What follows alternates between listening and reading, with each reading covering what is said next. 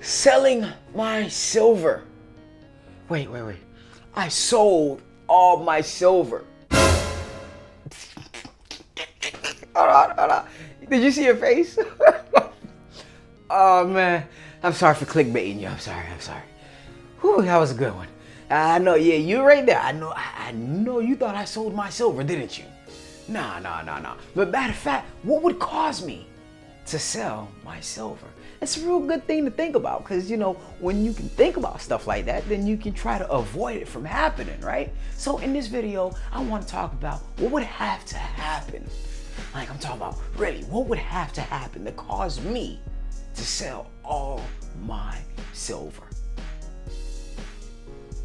Thank you guys so much for watching another video of Urban Lifestyle where our goal is to help you guys create a better life. And you guys can help out by leaving a subscribe, leaving a comment, leaving a thumbs up. Find me on my social media platform, Urban Lifestyle 1989. And don't forget to hit that notification icon so you guys get future notifications of my future videos.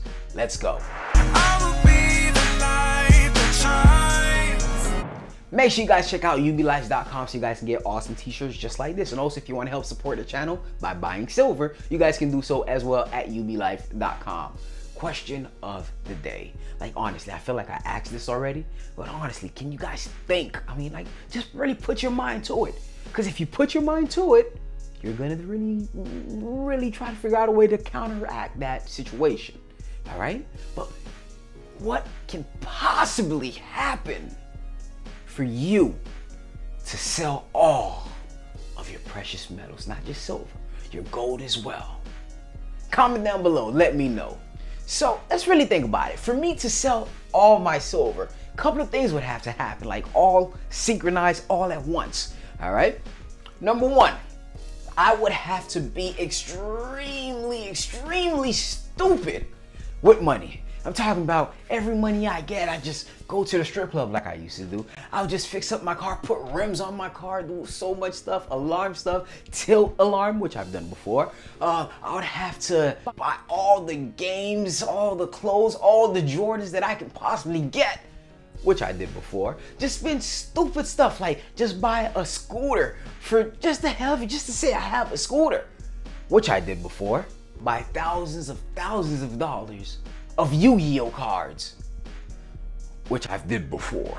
I would have to be extremely stupid with my cash. Like, I mean, the most stupidest person on earth will look at me and be like, bruh, you stupid. Like, I don't think I'm the stupidest person on earth. You're the stupidest person on earth now. Like, I have to be extremely not, like, don't really care about what I'm purchasing. Now, I don't see that situation happening anytime, like, ever. But who knows? Let's say one day I just woke up stupid and then I start spending crazy cash.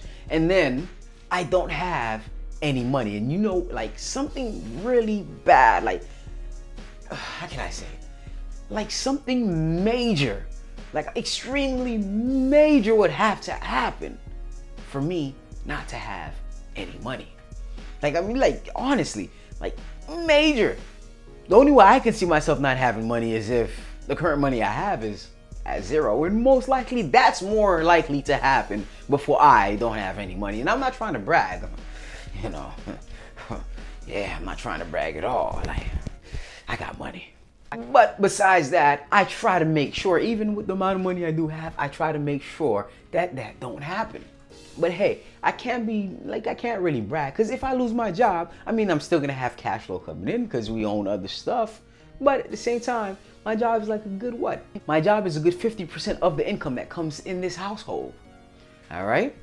So if I lose my job, then maybe, but still, I'll still have some cash coming in. That I'll be able to take care of everything where I don't have to dip into my reserves. That being said, number three, something major has to happen. Like the biggest emergency that that was just wipe out everything that would wipe out my two to three, maybe even more years of income that I actually have just in case, you know, my reserve cash, you know, that would have to wipe out all that out all at once. And not just that, like, I don't even have more. Like, with all that, I just still don't have enough. It has to be an emergency where I really need to get this thing done and I don't have enough and I'll even, I would have to sell everything I have, including my silver, just to make sure this is okay. Now, let's really think about it. What can do that? Because, like I said, if we can figure out what can do that, we can figure out a way to remedy it. All right? Hmm.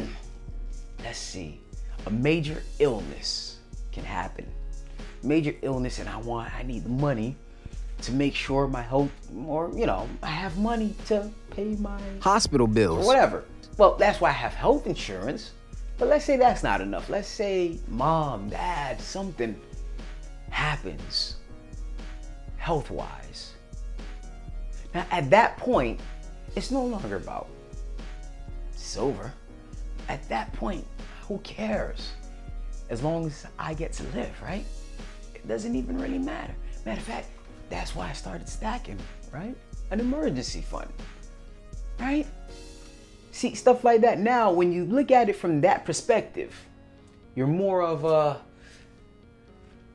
it's more of a, hey, who cares about silver? I have life. I would gladly give everything I have just to make sure I have life, right? Now, when you look at it that way, what can I do to prevent that? It's unknown. I can just make sure I eat healthy. I make sure I eat right. I make sure I exercise, which I already do. I take my vitamins, which I already do. Like I'm real keen on vitamins. Honestly, I should make a separate channel just talking about vitamins, as much vitamins as I take. Matter of fact, not just vitamins, on health. As much as I exercise and take vitamins and make sure that I'm in tip top shape well, not in tip top shape. I mean, I, I, feel like I could be a little bit more muscular, but hey, see, when you put your mind in a situation like what would have to happen to actually cause me to sell my silver, and now you can remedy that. Okay, so what would I have to do to avoid all this? I have to brand myself out, start a business, which I'm doing now. I have to make sure I have something that provides for me day in and day out. Because let's really put it, Apple, one of the biggest company in the industry. If the CEO of Apple has a health issue, you mean he has more than enough money to take care of that. If he has gold or if he has silver, which I'm pretty sure he does because you need silver for the iPhone, but that's the company that's not his, maybe. He do.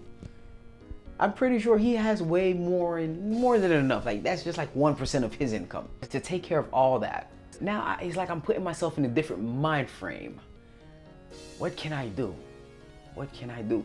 You feel me? When you ex- exercise your brain power, you see stuff in a different light. Right? So that's pretty much all that can happen to me right now that I'm trying to remedy that would make me sell my silver. But besides all that, I'm holding, I will always, if not, I will never sell all my silver. The video is done, but the conversation doesn't have to be. Let's continue this conversation down in the comments below.